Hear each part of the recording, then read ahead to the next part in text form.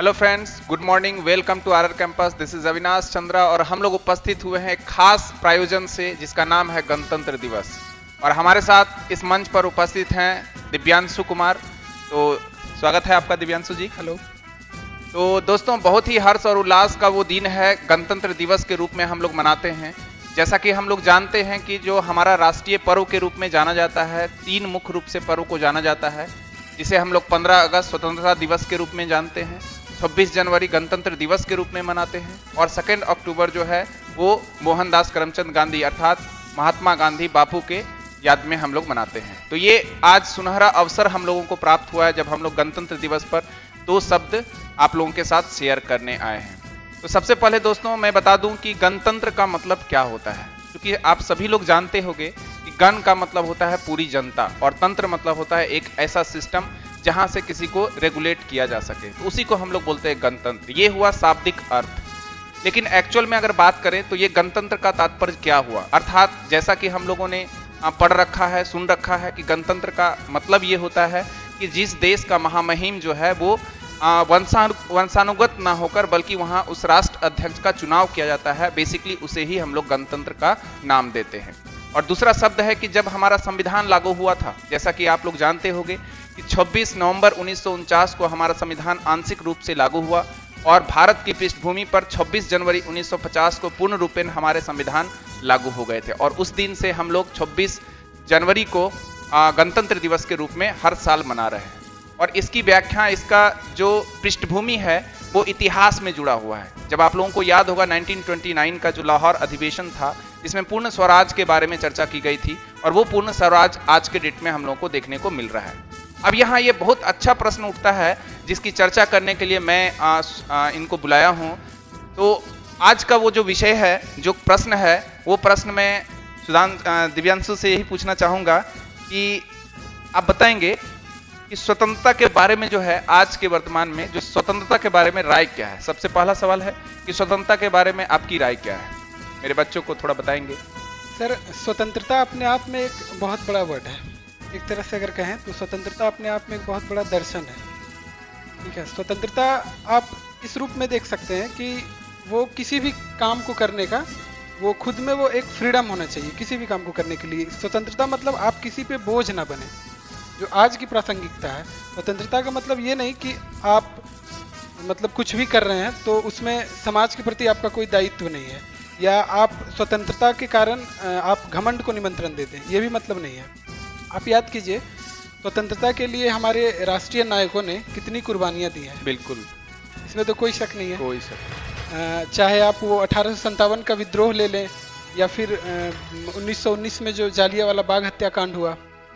और इसमें कोई शक नहीं है कि संपूर्ण विश्व में स्वतंत्रता के लिए या किसी भी आंदोलन के लिए या किसी भी महासंग्राम में लोगों ने समूह में कुर्बानियाँ दी हैं। लेकिन भारत में जो कुर्बानियाँ दी है हमारे राष्ट्रीय नायकों ने। वो कहीं ना कहीं और सब और सब जगह से अलग है। क्योंकि यहाँ पर आप याद करेंगे 1919 में जो जालियावाला बाग हत्याकांड हुआ था उसमें जनरल डायर ने कितनी बेरहमी से लोगों पर गोलियाँ चलाई थी। और मुझे याद है कि वो जो जालियावाला बाग हत्याकांड जो स्थल है वहाँ से लगभग 12 मील की दूरी पे है भगत सिंह का घर। और उस समय भगत सिंह 12 वर्ष के थे। भगत सिंह उतनी दूर से वहाँ आए थे। और उन्होंने वहाँ की मिट्टी ली और वो लेकर चले गए। और ये कहीं ना कहीं बहुत बड़ा टर्न पॉइंट था इनके लिए, भगत सिंह के लिए। वहाँ से वो बहुत मतलब उनमें एक अलग सी ऊर्जा आई। एक वक्ता मुझे याद आ रही है, अठारह सौ सत्तावन के बाद जब जो ये जफ़र थे, बहादुर शाह जफ़र, उनको गिरफ़्तार करके ले जाया जा रहा था, उस समय एक अंग्रेज़ ऑफिसर थे, उन्हें उर्दू से बड़ा लगाव था। वो उर्दू में शायरी वायरी करने लगे थे। तो जब जफ़र साहब को वो यहाँ से लेके जा रहे थे तो उन्होंने जफ़र साहब को बड़े ही शायराने अंदाज में कहा कि दम दमे में दम नहीं दम दमे में दम नहीं अब खैर मांगो जान की। वाह वाह क्या बात है बिल्कुल। ए ज़फ़र ठंडी हुई शमशीर हिंदुस्तान की। बहुत अच्छा। तो दमदमा उस समय हिंदुस्तानी फौज का वो हथियार रखने का जगह होता था इसलिए उन्होंने ऐसा कहा था। दमदमे में दम नहीं अब खैर मांगो जान की। ए ज़फ़र ठंडी हुई शमशीर हिंदुस्तान की। तो बहादुर शाह ज़फ़र जो खुद शायर थे उन्होंने कहा कि गाजियों में बू रहेगी जब तलक ईमान की वाह। तख्त लंदन तक चलेगी तेग हिंदुस्तान की। क्या बात है क्या बात है बहुत अच्छा। और ठीक उसी समय उसके 21 साल के बाद एक बार ये ईस्ट इंडिया कंपनी का लंदन में फेलिस्टेशन समारोह चल रहा था वहाँ पे उधम सिंह ने जाकर सामने से जनरल डायर को गोली मारी थी। तो उस समय ये जो ज़फ़र साहब थे, इनका जो वादा था, जो ब्रिटिश हुकूमत के प्रति, ब्रिटिश हुक्मरानों को उस अहंकारी ऑफिसर से जो इन्होंने वादा किया था, वो तब जाकर पूरा हुआ था। तो इस तरह से आप देखेंगे कि कितनी ही कुर्बानियाँ दी हैं, तब जाकर आज हम आज़ाद हुए हैं। और अगर आज की प्रासंगिकता हम देखें तो कहीं ना कहीं मुझे लगता है ऐसा कि उस समय अंग्रेज़ हम पर राज कर रहे थे, और आज के समय में हमारे अपने ही हम पर राज कर रहे हैं। इसमें आप इसमें आप क्या कहना चाहेंगे? बिल्कुल सही फरमाया आपने और बहुत ही अच्छा लगा वो ज़फ़र का, जो बहादुर शाह ज़फ़र मुगल वंश के जो अंतिम शासक के रूप में जाने जाते हैं, सभी विद्यार्थी, सभी लोग जान रहे होंगे। बहुत अच्छा वाक्यांश था वो, बहुत अच्छा लगा सुनने में। और ऐसे भी ए पी जे अब्दुल कलाम के शब्दों में कहा गया है कि यदि देश भ्रष्टाचार मुक्त होता है तो उसमें जो सुंदर मस्तिष्क होता है, वो एक अच्छा मस्तिष्क ही एक राष्ट्र का निर्माण करता है। और कहा जाता है कि वो राष्ट्र निर्माता के रूप में तीन लोगों को बहुत प्रमुख श्रेय दिया जाता है माता पिता और गुरु। बिल्कुल, बिल्कुल। और आज की प्रासंगिकता ये है कि जो हम लोगों ने गणतंत्र दिवस पर स्वतंत्रता शब्द को इसलिए चुना क्योंकि आज की जो वर्तमान समय में प्रासंगिकता है वो कितनी रह चुकी है। हम लोग क्या समझते हैं? स्वतंत्र का मतलब क्या है? स्वतंत्रता का ये मतलब नहीं कि आपको खुली आज़ादी मिल जाए और ऐसी आज़ादी जिसका कोई मोल ना हो। उस आज़ादी की कीमत को समझना है जिस पर हम लोगों ने कितनी कुर्बानियाँ दी हैं। आपके उस मॉरलिटी को मानवता के सिद्धांत को समझना है। अगर आपने इतिहास की रूपरेखा को देखा होगा तो उसमें स्पष्ट रूप से आप लोगों को ज्ञान का भंडार देखने को मिलता है। अशोका द ग्रेट जो थे वो पूरे अखिल भारतीय साम्राज्य यानी अखंड भारत के निर्माता के रूप में जाने जाते थे। वो अखिल भारतीय निर्माता के कारण वो महान नहीं कहलाए बल्कि वो महान इसलिए कहलाए क्योंकि उनकी जो छवि थी उनका जो शासन प्रणाली था वो शासन प्रणाली मॉरलिटी यानी नैतिकता के आधार पर था। उसकी पृष्ठभूमि पर खड़ा था। और इसलिए वो अशोक अशोक महान कहलाए। तो मुझे लगता है कि आज भी बहुत सारे चीज़ों की आवश्यकता है जो हमारे समाज में होने चाहिए।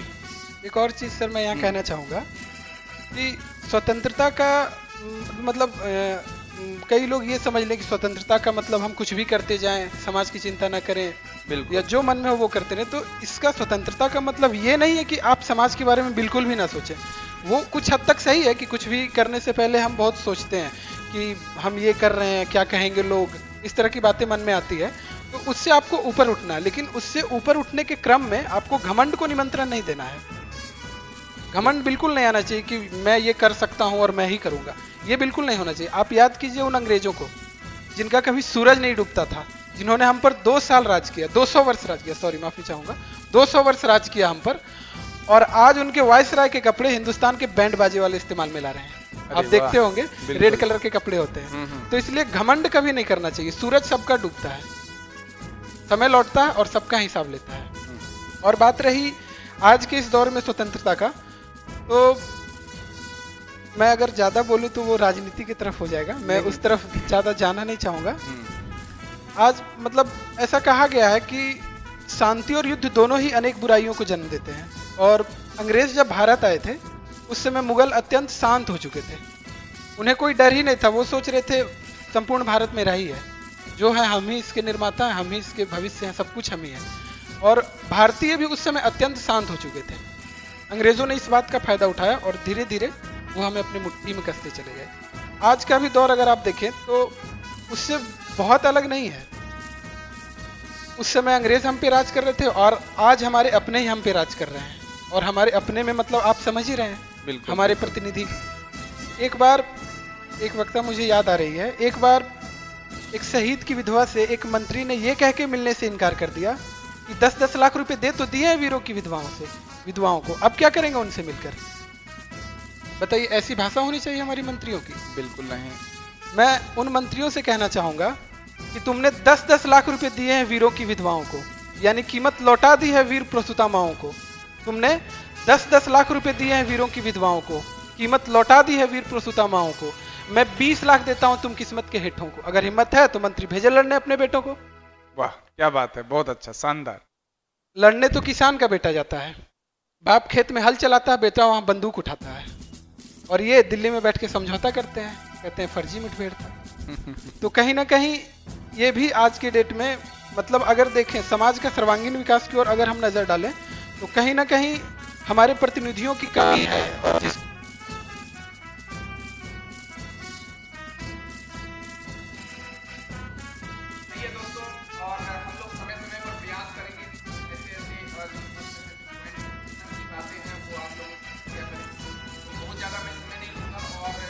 सभी लोग जानते हैं कि ये गणतंत्र दिवस जो है बड़ी हर्ष और उल्लास के साथ मनाया जा रहा है। और चूँकि आज के दिन में जो पूरे विश्व पटल पर जिस तरह से आप लोग जान पा रहे हो कि जो कोरोना वायरस है, महामारी के रूप में उभरा है और ये दो तीन साल से परेशान करके रखा है तो हम लोगों को इसके साथ लड़ना होगा, इसके साथ संघर्ष करना होगा और अपनी वीर भूमि पर अपने इतिहास को याद करते हुए हम लोगों को भी एक इतिहास बनाने होंगे। और कहा जाता है कि देश के वीर जवानों की होली याद है क्या क्या हुआ था हमें, सबके साथ सबका हिसाब है स्वतंत्रता मिली थी मुश्किल से गणतंत्र है हमारा अधिकार जिसका जवाब है। अर्थात हम लोगों को गणतंत्र के साथ आगे बढ़ना है और ये हमारे हमारे लिए मिसाल की बात है ये गणतंत्र दिवस। तो दोस्तों और आप कुछ कहना चाहेंगे? मैं अंत में यही आपके मतलब जो भी विद्यार्थी देख रहे होंगे हम्म। उनसे यही कहना चाहूँगा कि अगर आप सपना देखते हैं तो उसके लिए आपको खुद से मेहनत करना होगा। ना कि ये किस्मत ऐसे है, किस्मत वैसे है, परिस्थितियाँ अनुकूल नहीं है। आप अगर सपना देखें तो उसको जाग के, मेहनत करके आपको पाना होगा। अगर इसी तरह से हमारे राष्ट्रीय नायक करते, उन्होंने जो सपना देखा था, आज़ादी का सपना देखा था, वो भी अगर चुपचाप बैठे रह जाते तो याद कीजिए मतलब आप सोचिए कि क्या अगर आज हम आज़ाद होते? इसलिए अगर आप सपना देखते हैं तो उसके लिए मेहनत कीजिए, जद्दोजहद कीजिए और पूरी ताकत लगा दीजिए। बिल्कुल सही बात है। आप अपने इरादे को पूरा कीजिए। कहते हैं, संकल्प का कोई विकल्प नहीं होता। आप अपने संकल्प पे कायम रहिए। आप निश्चित रूप से जीतेंगे। ठीक है दोस्तों, मिलते हैं हम लोग इसी तरह के छोटे छोटे बातों को लेकर। तब तक के लिए जय हिंद, जय भारत।